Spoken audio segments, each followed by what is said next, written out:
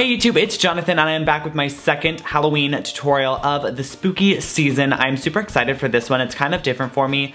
I was trying to think of something very creative and interesting to do that would also still be um, kind of an easy, like costume wise. This look is just an Andy Warhol look. So I'm gonna be Andy Warhol on one side and my costume and hair is gonna be Andy Warhol. And then on the other side of my face, I'm gonna be recreating the pop art image of Marilyn Monroe. So it's gonna be kind of a two-faced look. So for this look, obviously we're gonna be doing normal makeup on one side of the face and crazy makeup on the other. So I'm gonna be using two different primers. One on the regular side of my face. This is the Smashbox Photo Ready Light Primer. I'm gonna be putting that all over the left side of my face and then on the right side of my face, I'm gonna be priming with an eyeshadow primer. Any eyeshadow primer will work. The one that I'm going to choose is from Pure Minerals, and this is Cease Crease. I know it's pretty weird to be putting eyeshadow primer on an entire half of my face, but I'm gonna be placing a lot of eyeshadow there and a lot of cream color there, and I really want it to stick and last throughout the night. So now I'm working on the regular side of my makeup. I'm just applying a little bit of my Bare Minerals Bare Skin Concealer under this eye. You can do this side of your makeup however you like to do it. The powder foundation that I'm using on this side is the Lancome Dual Finish Powder in the shade 120. And I'm gonna go ahead and hit this side with a little bit of my Marc Jacobs bronzer as well. I'm also lightly sculpting this cheek with this bronzer. Andy Warhol was a very angular man, um, so I'm going to go ahead and give myself a little bit of contour while I'm over here with this bronzer. For the brow on this side of my face, I'm gonna be using the Brow Tech Trio from Smashbox. I'm gonna start with a little bit of the wax and place that just on the outer section here where I really need the powder to stick. You can fill in your brows however you like to normally fill them in. This is what I've been doing lately when I want more of a full-on brow. Alright, so with that brow on, all I'm gonna do on this eye is curl these lashes and put a tiny bit of brow gel on and then I'm pretty much done with the left side of my face. So the left side is now done. We're gonna be moving on to my right side. On this side of my face, I'm gonna be recreating the Marilyn Monroe portrait. And of course, she's got the pink skin, the bright blue on the eye, and the red lip, and it's got all of the dramatic black outlining. So I'm gonna start by doing the skin, and for that, I'm gonna be taking a cream blush. This one is from NYX, and this is in the shade Natural, but any pink cream blush will do, and I'm going to be applying that as I would a liquid foundation on this side of my face. I'm using a concealer brush to bring that down the center because I want a very sharp line down the center of my face. You could use pink face paint for this. You could use anything pink for this that you don't mind putting all over your skin. I'm not gonna take this down onto my neck. I'm gonna take it straight up the jawline. Once I have the outline on, I'm then going to move to a foundation brush and just press this into the rest of that outlined area and I'm taking that all the way up into the inner corner and across the under eye area. And to set that and make sure it's as full coverage and pigmented as possible, I'm actually gonna be using a pink eyeshadow from one of my BH Cosmetics palettes. I'm gonna be choosing this color right here, but any bubblegum shade of pink will work. While I'm doing this, I'm using a couple different shades of pink to kind of highlight and contour my face. So I'm using a lighter shimmery pink under the eye area and a darker one on the sides of the nose. And I'm just doing this to kind of shape the face to make it a little bit more dramatic.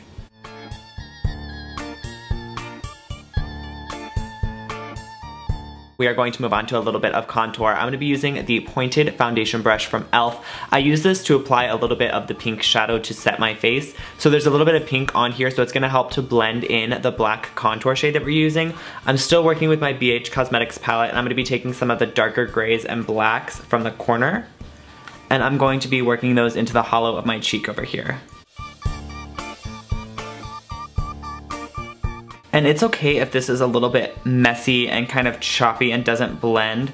Um, this is a painting that we're recreating and some of this is textural over here in the contour section. There's a little bit of cross hatching here. So I'm using the kind of ends of my stippling eye brush to press some of that contour shade in to keep to leave some of that cross hatching detail and then blending over it with the, with the foundation brush.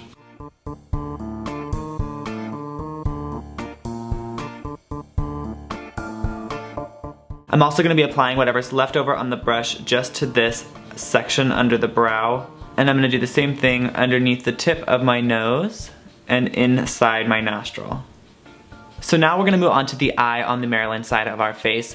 We're going to be using a cream product, again, kind of like we did the face, a cream product and then a powder shadow over top of it to set it and make it as bright and vibrant as possible. The color on the eye is a bright, bright turquoise, so I'm gonna be using a blue liner all on the eyelid. Um, and I'm gonna be shaping this. The shape of this is very important. It's very round in the intersection here. It swoops back down and then it wings back up a little bit. And I'm filling this whole space in with this blue pencil. And of course, still working with my BH Cosmetics, I'm gonna set that eye area with this bright turquoisey blue shade. There's a very deep set part in the painting just right here. I'm applying quite a, like a navy shade there. And then in a moment when I work with my detailed eyeliner, I'm gonna go in and put a little bit of liner there to make that look very, very prominent. Hopefully all of this is starting to make a little bit more sense now that that eye is on. I'm gonna go ahead and move on to the brow using the same brow brush that I used earlier and a couple of gray and black shades. I'm going to fill in my brow, giving that very triangular shape that Marilyn was known for. I don't wanna start off too dark because I do want to have room to kind of go in and use a bit of liquid liner to draw in some actual hairs. So I'm sticking mostly with gray tones right now.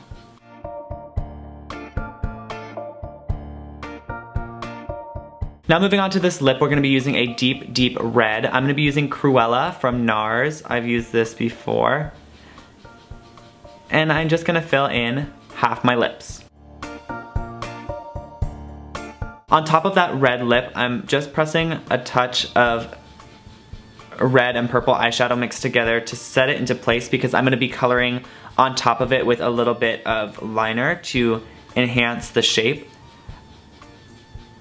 So setting that with a bit of powder and a matching red shade will make that a little bit easier. And now going back to that angled brow brush, I'm gonna be using this to line my lips with a touch of black and gray eyeshadow. And then I'm really focusing on getting that Marilyn Monroe shape to my lips, um, which is very, very high and heavy on this outer corner.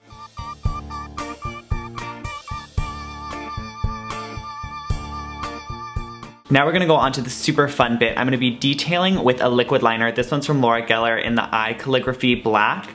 And I'm just going to be using this to kind of go in and draw little dots here, do my winged liner, put a little bit of extra line around the lip. But first I'm gonna be using it to put on my beauty mark, which is gonna go right in this cheek. Then I'm gonna be putting a couple of strokes through the brow just to show some hairs there. just a little bit of cross hatching.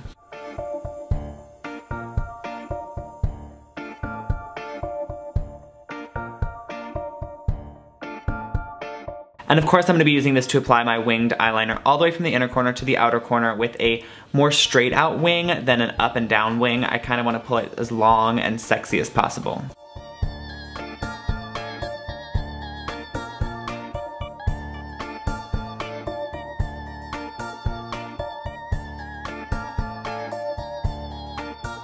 And if any section of this isn't perfect, your liner isn't perfect, really don't worry about it. It's kind of textural and it's all okay to be a little bit imperfect. Um, I, you can see I have a little bit of extra liner on the top of mine. It's just gonna look like a cool shadow. It's all gonna look intentional. I am going to go ahead and apply a little bit of this liner just, just like that. It looks actually pretty close to how it looks in the painting. Just kind of a wedge of liner right in that crease section to deepen that and I am pretty chuffed with the way that eye looks. I'm going to go ahead and apply a little bit of this underneath as well. And I'm actually going to kind of draw in a shadow under my eye of where the eyelashes are gonna leave a shadow on my face. If you watched last year's Marilyn Monroe, oh I did a Marilyn Monroe last year and this year, if you watch last year's Marilyn Monroe tutorial, you'll see that that's a really big part of her look is this little section right here with the little swoopy down. This is really just the shadow of eyelashes. And I'm gonna be applying a bit of NYX Jumbo Pencil in Milk into my waterline. This is the like most blunt eyeliner ever. I need to sharpen this so bad, but I cannot find my sharpener anywhere.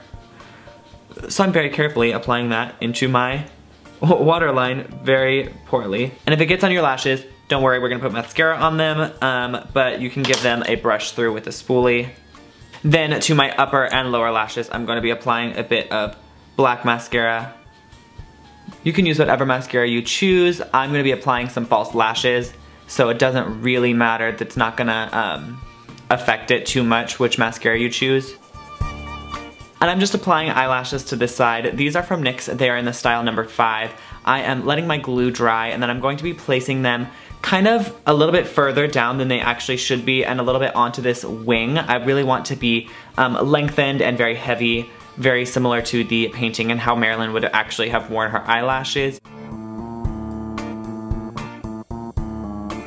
So after I apply that, I'm gonna let it dry for a minute, then I'm gonna go ahead and touch up the line with a little bit of the black liner just to cover any of the glue that's visible. And then as a finishing touch, just to set everything and make sure nothing is gonna move, I am pressing in a touch of translucent white setting powder from Dermablend.